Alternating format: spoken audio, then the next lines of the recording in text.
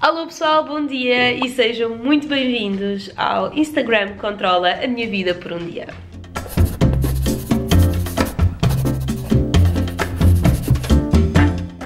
Votaram e claramente ganharam e portanto hoje vou fazer um vídeo em que o Instagram controla a minha vida por um dia. E vocês já sabem como é pessoal, se gostam deste tipo de vídeos aqui no canal, deste tipo de desafios giros, divertidos, deixem desde já o vosso grande gosto, subscrevam no botãozinho vermelho aí em baixo e é claro, ativem as notificações clicando no sininho para não perderem nenhuma novidade. Neste momento são 10 da manhã, eu fiz a minha pula, perguntar se vocês queriam realmente ver este vídeo aqui no canal e 92% de vocês disseram que sim, portanto Hoje eu vou partilhar com vocês o meu dia e vocês também poderão decidir então as diferentes tarefas que eu vou fazer ao longo do dia. Portanto, eu vou começar pelo pequeno almoço porque estou cheia de fome, eu levantei-me eram 7 da manhã e neste momento são 10 da manhã e eu ainda não comi porque estava na dúvida se ia gravar ou não este vídeo, estava à espera das vossas respostas e portanto eu vou agora sem mais demoras para a minha cozinha porque estou cheia de fome e vocês vão decidir então o que é que eu vou comer hoje.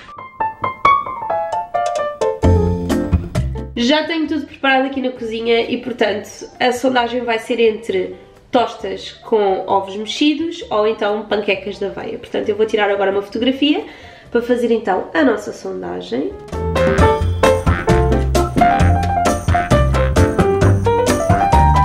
Pessoal, estou bem triste. Passaram-se 3 minutos e está claramente renhido. As panquecas de aveia estão com 49% e as tostas com 51% com ovos.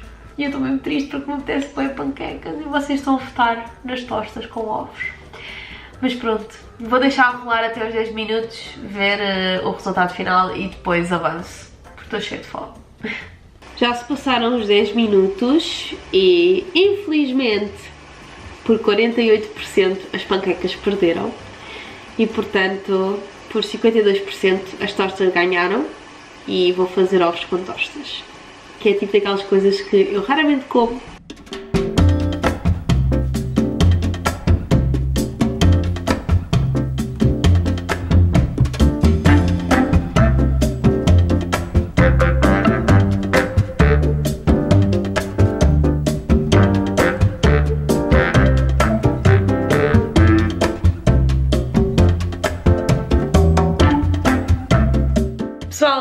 De tomar o pequeno almoço e foi sem dúvida um flop. Eu estava mesmo com muita vontade de comer panquecas hoje.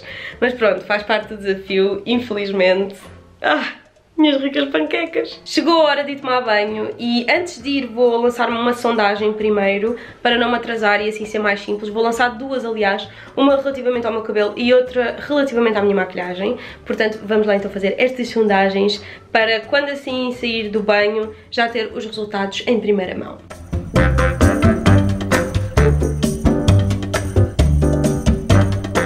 Já saí do duche e vou agora ver então os vossos resultados, vou aqui ao Insta, também estive a lavar os meus dentes, a pôr o aparelho e tudo mais. E portanto já se deve ter passado... passaram-se 22 minutos e 68% das pessoas disseram para eu me maquilhar, portanto eu vou me maquilhar, yay!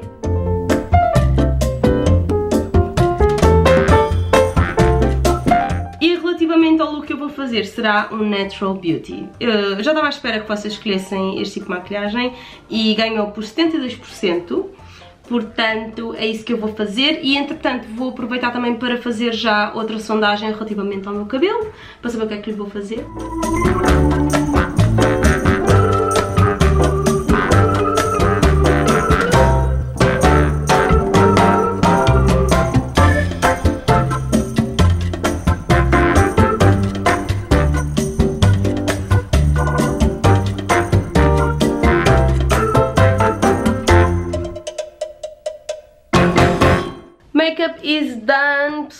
Está acabadinha e como vocês podem ver o look está bastante natural. Aliás, eu só utilizei para aí uns 5, 6 produtos no máximo, porque nem base utilizei, utilizei apenas um bocadinho corretor, depois contorno iluminador, depois usei também um bocadinho de iluminador aqui nos meus olhos e contorno também nos olhos, preenchi as sobrancelhas e pus um bocadinho de batom e máscara e está a andar, portanto foi mesmo um look super natural.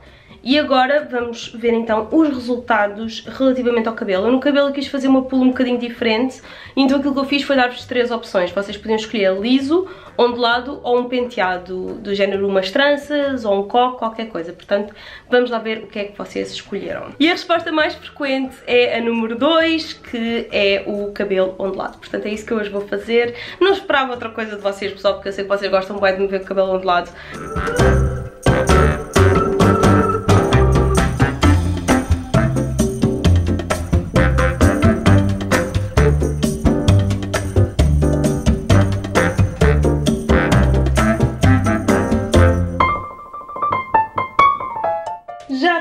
Temos o nosso cabelo ondulado e agora chegou a hora de escolher roupa e eu preciso de me despachar rapidamente. Porquê? Porque vou ter uma reunião agora por Skype antes de sair de casa porque eu vou com a Ritinha ao IKEA, nós vamos para lá trabalhar para a zona de lounge porque eu gosto imenso de ir para lá, de vez em quando vou e é um dos melhores sítios para se trabalhar, eu acho que é muito produtivo cada vez que vou para lá, portanto eu vou fazer isso que é para depois ir ter com a Ritinha e aproveito porque também vou ter que ir trocar umas coisas ao IKEA uh, da última vez que eu fui lá e vou também buscar algumas coisas, portanto assim junto o útil ao agradável. Já tenho aqui então a seleção, tenho estas calças mais clarinhas com este lenço e com a t-shirt branca e aqui tenho um kimono com umas florzinhas, umas calças pretas e um top preto. Portanto vamos lá ver o que é que vocês vão escolher.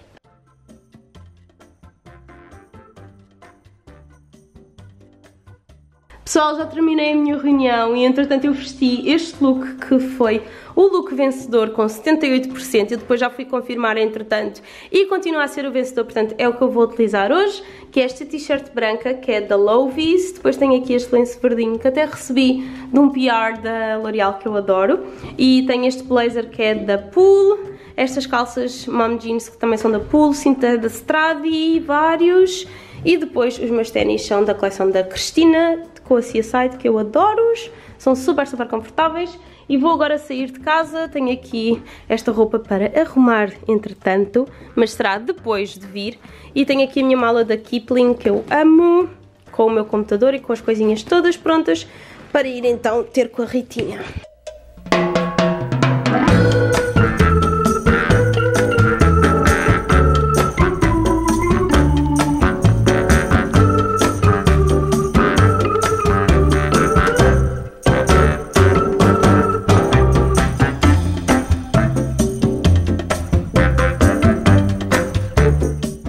Tenho um pequeno apêndice para chegar lá a casa de vez em quando, pronto, e cada vez tem, traz mais coisas. Quem é?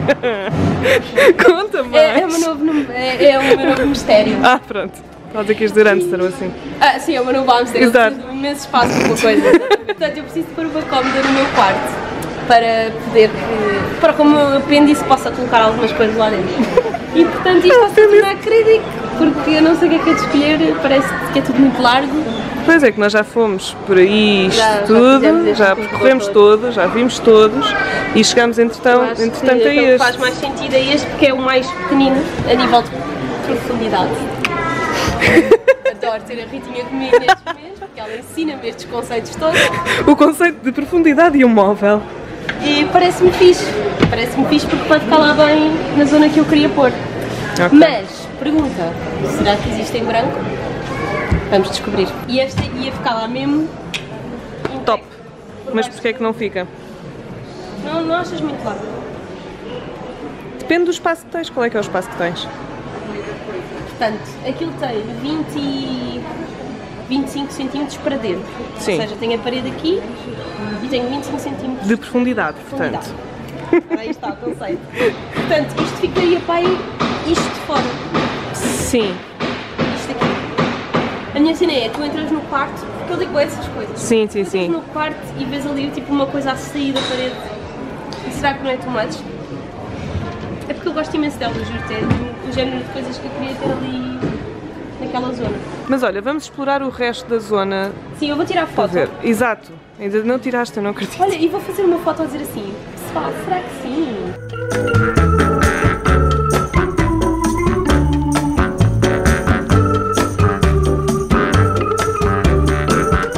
Pessoal, chegámos à reta final. Estou aqui com uma das funcionárias do IKEA que já assumiu o controle. E entretanto eu fiz uma pool porque eu vi uma cadeira linda, um cadeirão que era mesmo tipo a cara da minha sala. E eu perguntei-vos se vocês, o que é que vocês achavam, se ficava fofo na minha sala ou não e estamos a ganhar por 89%, portanto espero que sim. Nós estamos a tentar agora localizá-la porque sem dúvida que eu quero muito levar para a minha sala, acho que vai ficar mesmo bem. Ah, e tá eu não aqui, tá fotografei aqui, a tá aqui. referência. Ah, mas está aqui. Acabámos de encontrar, portanto vamos buscá-la. Vamos fazer agora um ultimate, ou seja, vocês vão decidir se eu levo tudo ou se não levo nada. Oh meu Deus. A sério, vai-me doer o meu coração de vocês dizerem que eu Oh, não vou levar nada. Mas vamos ver. Vejam só aqui o nosso bumerangue lindo, com a Ritinha ma maquiavélica. E eu vou escrever. Eu já estou nervosa.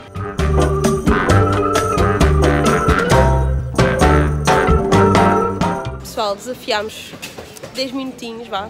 Vá, 5 minutinhos que passaram. Mas está nos 95%, portanto achamos que. Nós queremos é saber quem é que são aqueles 5% que Exato. só querem ver o mundo arder.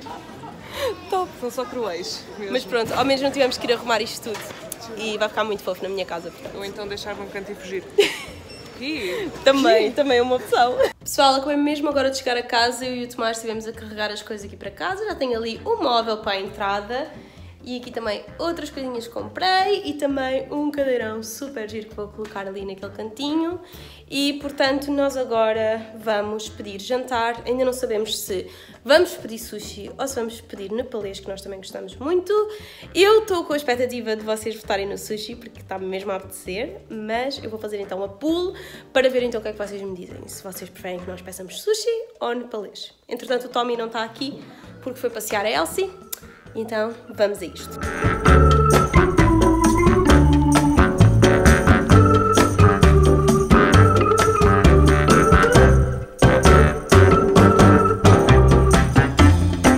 Acabou mesmo agora de chegar o nosso sushi! Porque sim, vocês votaram no que é que nós íamos jantar hoje, não é, Tommy? É verdade. E a grande vencedora foi 68% de sushi. Portanto, estás contente, Tommy? Estou, sushi é sempre uma boa opção. Portanto, agora vamos comer, que estamos cheios de fome. O sushi ainda por cima durou um bocadinho, portanto, bora lá. Vamos a isso. Vamos a isto.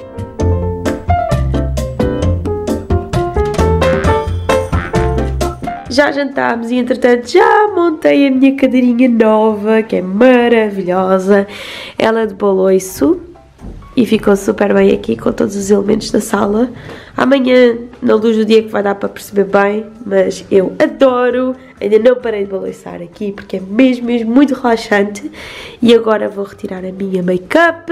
Está aqui, entretanto, as caixinhas e estas coisas para deitar fora. E este será outro projeto que eu vou fazer aqui no hall da entrada. Depois vocês vão ver. Aliás, eu vou fazer neste momento uma pool a perguntar, aliás, uma sondagem a perguntar se vocês querem ver então a renovação aqui do hall da entrada.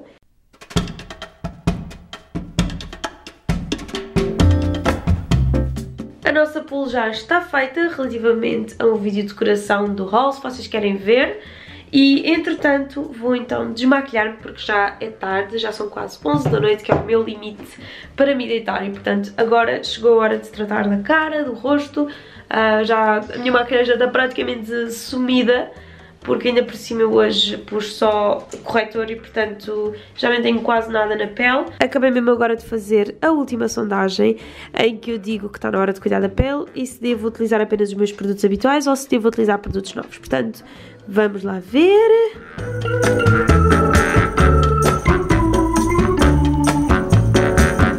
Já está na hora, já passaram os 10 minutos, portanto eu vou ver qual é que é o resultado final relativamente aos produtinhos, o que é que eu vou usar, se utilizo os meus produtos habituais apenas ou se utilizo novos produtos. E 79% de vocês disseram para utilizar novos produtos. Já tenho aqui então a seleção dos produtos novos que eu nunca utilizei para experimentar. E eu, como gosto de ser extra, faço sempre iluminador no meu cabelo antes de me deitar, porque eu sinto que o cabelo fica muito mais bonito no dia seguinte, quando faço este processo de passar o iluminador. E pronto pessoal, este foi o nosso vídeo de hoje, eu espero muito que vocês tenham gostado. Eu sem dúvida que me diverti muito e saí da minha zona de conforto em algumas situações, portanto, muito obrigada por vocês terem participado, foi sem dúvida um dia bastante divertido. E é claro, esta coisa das sondagens acaba por ser muito fixe porque sinto mesmo que vocês estão a interagir comigo durante todo o dia, o que eu acabo por querer sugerir a toda a gente que ainda não experimentou fazer este desafio, que o faça, just for fun, mesmo vocês não tenham um canal no YouTube, eu acho que é uma coisa super divertida para vocês fazerem com os vossos amigos, ok, vos sigam no Instagram, portanto, experimentem, acho que vocês não se vão arrepender. E é claro, pessoal, se vocês gostam deste tipo de desafios aqui no canal, deixem desde já o vosso grande gosto, subscrevam no botãozinho vermelho aí embaixo e, é claro, cliquem no sininho para ativar as notificações para não perderem nenhuma novidade. E por hoje é tudo, mais uma vez espero que vocês tenham gostado, que tenham uma noite, ou um dia, ou uma tarde muito iluminada e, é claro, vemos-nos no próximo vídeo. Tchau!